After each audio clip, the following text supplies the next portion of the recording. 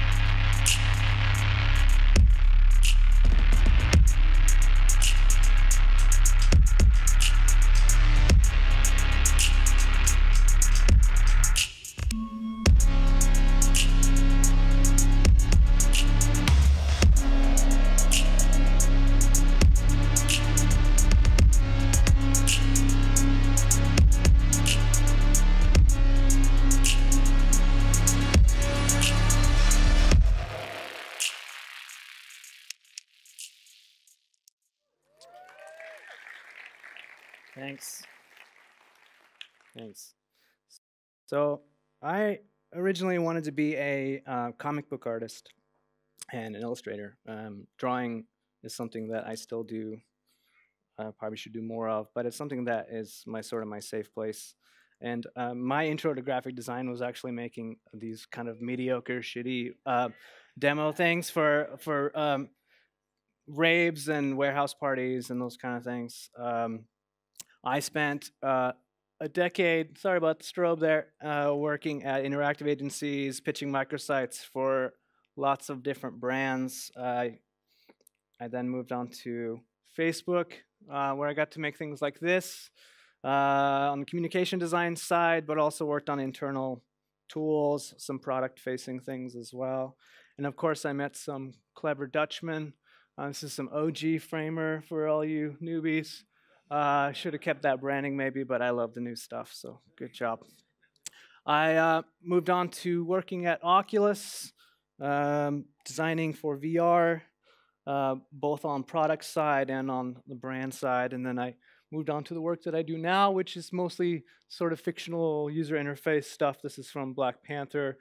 Really, it's like a mix of graphic design with heavy emphasis on motion graphics and, and 3D work. Um, so I think having taken all these different paths, uh, I'm going to talk to you a bit about uh, reinvention or starting over. I think there's this sort of wonderful inherent vulnerability to starting over. Uh, there's this moment of weakness where you're forced to grow. And um, it can be painful and it can be rewarding. Um, but this idea, I think, was born out of uh, a constant sort of need to feed my own curiosity.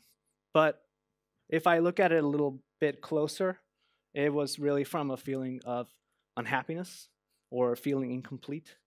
And so my way out of that sort of dark place a little bit was to just make things and to let everything else follow. Rather than standing here and talk about all the things that I've been somewhat successful at, uh, I kind of want to talk a bit about the things that I struggle with. Um, I wrestle with ego, uh, comparison, jealousy.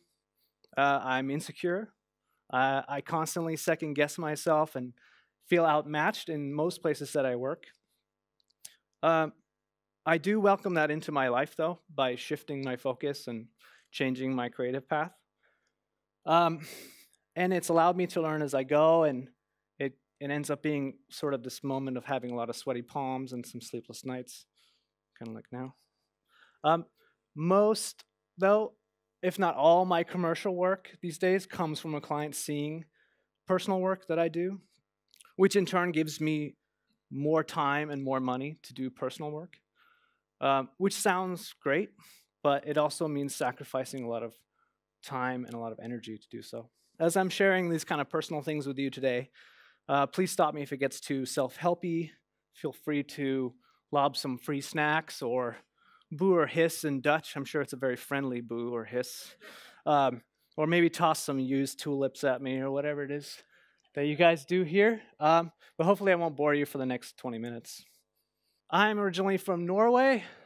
This is a pretty accurate representation of what day to day events in Norway is like.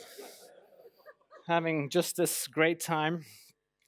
Uh, this is actually a bit more of what it was like. This is me in the third or fourth grade, uh, about to present something to my classmates. Uh, just look at how proud I am. Well, I'm wearing all black too, I may add. Um, I, I show you this picture because the moment that it represents really is sort of why I make art in the first place, because there's literally zero fear here. Um, look at those shoulders, right? Look at that face. There's like no, no hesitation there. Um, and um, honestly, that's that moment where I'm trying to get back to when I when I make things and when I share things with, with the world. And really, it's this thing about using my imagination, creating something, and sharing it with others. And that's that's the thing that sort of validates me, I think. And making that art has always been my window into a sense of belonging, into a sense of community. And that need to be loved drives that need to make art. And I think in turn, I do my best work when this is the driving force. So it is work, right? Uh, I love this quote I don't like work, no man does, but I like what is in the work the chance to find yourself, your own reality, for yourself, not for others, what no other man can ever know. They can only see the mere show and never can tell what it really means. Well, um, I think getting lost in that reality is something that I really identify strongly with. Um, I think it's maybe a bit cliche to drone on about process um, at this point, but I think that path of exploration really is uh, one of my favorite things about being a creative person. I think we'd all love to say that creative process is a linear experience like this. It would make things so much easier, right? But really, in reality, it's a lot more like this, which is fine. Um, but I've had to develop some tools and some sort of methods in order to get some shit done. And a lot of times it's it's it's about this. It's about sitting down and simply getting to work. Uh, I think accountability and discipline both go a long way, uh, but it still takes time to establish those coping mechanisms. And one of those methods that I have found is to give myself a roadmap uh, by building a framework around a story. And by having this narrative path, I then give myself a scenario that enables me to discover, to learn, and uh, make new things ultimately. And really, storytelling is good design, right? Um, it's this wonderful connection point to other people. And through that narrative, we all have this shared emotional experience that we get to enjoy together. Uh, that is one thing that drew me to um, film in general, just because I get to participate in a larger story. Uh, and through each little vignette that I make, um, whether it's front and center as a story beat or more subtly in the background as atmosphere, which is still um, adding to the uh, overall tone. So it's still helping me sort of take part in the story. And for me, this satisfies both the emotional attachment to the work as well as the one, the side of me that enjoys the problem solving. All right, so 2014 or so, I decided to quit my job and um, pursue something new. I was a bit uh, unhappy, perhaps, but uh, my creative output had gone from basically gone to zero. Uh, and so I wanted a challenge. And uh, through that sort of challenge, I decided to create a short film. Um, I thought of a concept of a, uh, an interdimensional primate who is searching space for psychotropic plants for spiritual guidance. Uh, don't ask me how I came up with that. We can talk about that later at the after party. Uh, but uh, what it turned into really was this massive learning experience, uh, and it, it pushed my career in a totally new direction. Really, everything starts on paper. In this case, storyboards help me sort of figure out the pacing, where to focus my efforts. If I'm world building, I need to sort of not build everything, just the things that the audience will eventually see. But sketching ideas gives me that freedom to make mistakes, get the idea out of my head, sort of just make it real, make it less threatening. Um, before I move on to you know some more fidelity, something like this. Um, some 3D stuff, just moving through production, graphical work. And honestly, I don't want to spend a whole bunch of time on this project because it really is a bit of an older piece. But the reason I bring it up is because essentially, in the end, it was a huge failure. And I never finished the short film. Um, I didn't understand a lot of the process. There was a lot of skill sets that I was lacking at the time. And I ran out of time and energy and money and all these things, right? Um, but just so I could have a little bit of that love, a little bit of that feedback. At the very, very end of the project, I cut together this little motion reel of UI stuff that I had really never done before in this way. Um, and put that out, and I got this pretty um, incredible response, which kind of made me rethink my approach and maybe thinking about doing more of this kind of work. Um, again, it's not a straight path, starting in one place and just trusting in the things that I enjoy doing. So, work is starting to come in, uh, and I'm pursuing more personal stuff again. Uh, again, creating short narrative. In this case, I wanted to kind of give myself a challenge where uh, I was recording the process as I was creating the work.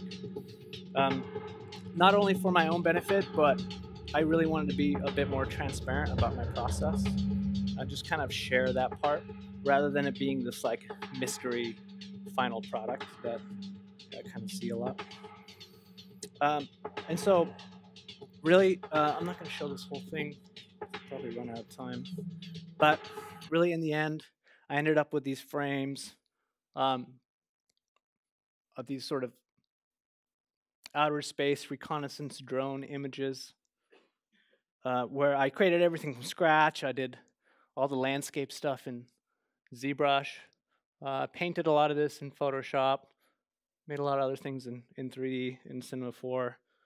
And really, again, finding my style, giving myself an excuse to make more UI stuff, essentially, uh, and being more comfortable with the UI work at this point, and, and really finding my own style and uh, and vision for this kind of stuff. So again, because of this work, uh, I was invited to work on a movie called What Happened to Monday. Um, it might be on Netflix Europe, I'm not sure. But um, it was a huge project. Uh, I was essentially the only designer making UI for this thing. And uh, I had no idea what I was doing, so of course I said yes. Um, there was just a ton of tech in this film uh, command console, screens, bracelets, tablets, mirrors, all the kind of like essential dystopian sci fi stuff you know you need. Um, project lasted well over a year, right up to the uh, very uh, tippy top of my wedding. Uh, and I'm surprised my wife even recognized me when I stepped up to the threshold because we had barely seen each other for the previous four or five months. Um, thankfully, she's very understanding. Again, uh, trusting in the things that I knew how to do, building myself a backstory, sort of understand how all the elements fit together. starting on paper. I really don't go any further than this when I start generating ideas before I move into things like this, um, just higher fidelity things. And, and really, this is where I um, just have a lot of fun and stay up till three or four in the morning, um, getting lost in detail and um, essentially trusting in that process that I've sort of built up along the way. I do from time to time uh, lean on some of the interaction principles that I've learned from building real things in the past. Some of the UI stuff that I do does sort of slowly, uh, I don't know, you know, there's a there's a point where um, you need to sort of use a little bit of reality and uh, um, allow your designs to not simply entertain, but also give yourself a little bit of real world uh, feeling, but not sacrificing style. Um, you know, you're still entertainment. This is a interactive mirror. This is really early, early stuff.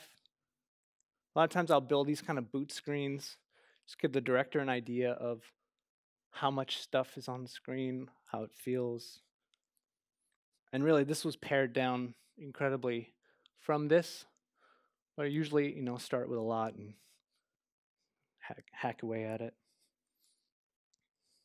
And then, you know, kind of early, early plate, a shot essentially, just kind of slapping it on top and uh, figuring out how things feel. Eventually, this will be tracked, and and really, a lot of that work is just sort of it just disappears, but it helps along the way, um, and it's fun. So I feel like I have a lot more time than I thought, but some closing thoughts. Uh, comparison and jealousy, I think, can be defeating and demoralizing. Um, I, I definitely struggle with my ego picking away at other people's success as if to say that my success is somehow less important. Uh, I've found that looking to idols and having people that inspire you, I think it's incredibly important, but it can be closely linked with sort of this feeling of fear or falling behind, feeling incomplete. And especially when you're starting over or in a vulnerable place where you're pursuing something new, this can be the case. But try to stay on your path, and it's yours to own. And again, there's a wonderful vulnerability that happens when you are pursuing something new. Um, you are forced to grow. And I think for all of us following this creative path somewhere along the way, no matter how comfortable you may be, there is a need to call your own bluffs and pursue a new and intimidating path. Um, I think in turn it will inform perhaps an internal recognition of self and if this is then the driving force behind your output, then the work will be better for it. It's sometimes been confusing in the past, you know, constantly making things for others rather than ourselves. To know when or how to question whether we are following that initial spark that got us started. It takes a while, at least it did for me, to start asking those questions along the way. Thank you.